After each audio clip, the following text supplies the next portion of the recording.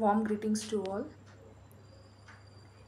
In this session, we are going to see about point to point protocol in data communication and networking. Point to point protocol.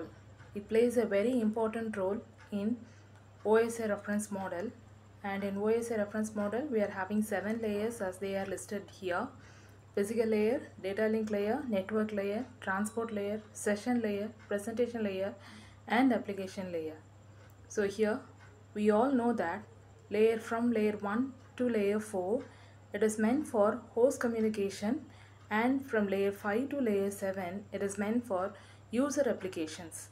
So data link layer is provided with a point to point protocol and in this session we are going to see about how this works.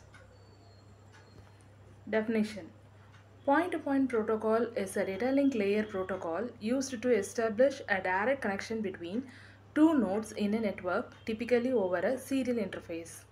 It enables the encapsulation and transmission of multiple network layer protocol such as IP, IPX and others over the same physical link. Point-to-point protocol provides a feature such as authentication, error detection and compression, making it widely used in various networking technologies including dial-up connections, DSL and VPNs. The purpose of PPP The main purpose of point-to-point -point protocol is to establish a reliable and efficient connection between two nodes in a network typically over a serial interface. It facilitates communication by encapsulating and transmitting the data packets between these two points, enabling the exchange of information over various network layer protocols such as IP, IPX and others. Additionally, it also provides essentially features such as authentication, error detection and data compression, enhancing the security, integrity and efficiency of data transmission over the network. Overall, a point-to-point -point protocol serves as the crucial protocol in, in enabling direct point-to-point -point communication in a wide range of networking technologies, including dial-up and DSL and VPN connections. The importance. Importance of point-to-point -point protocol are listed here. It establishes a point-to-point -point connection between two network nodes over a serial interface. It supports for a multi network layer protocol such as IP, Internet Protocol, IPX, Internet Packet Exchange Protocol and others. This versatility allows point-to-point -point protocol to be used in heterogeneous networking environment and it also used for error reduction and correction.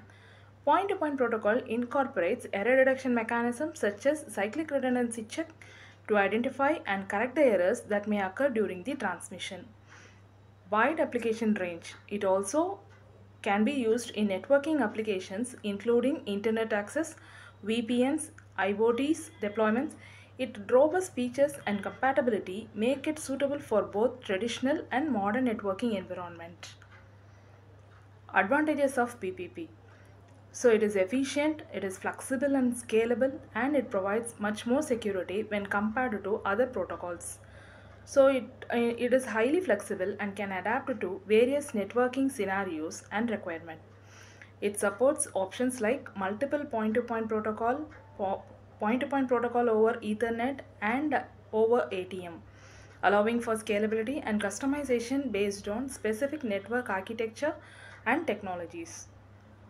Security, it also offers authentication mechanism like password authentication protocol and challenge handshaking authentication protocol. These mechanisms ensure secure communication by verifying the identities of the communicating parties. I hope in this session you might have get an, um, a basic idea about point-to-point -point protocol and thank you for watching this session. We'll continue meeting in the next sessions too. Thank you one and all for watching this session.